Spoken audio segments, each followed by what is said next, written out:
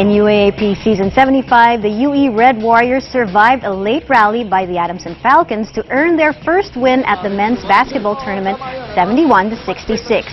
Point guard Roy Sumang sparked the Warriors to victory, scoring 16 of his 18 points in the second half to go along with 8 assists. It was the Warriors' first win in six games this season.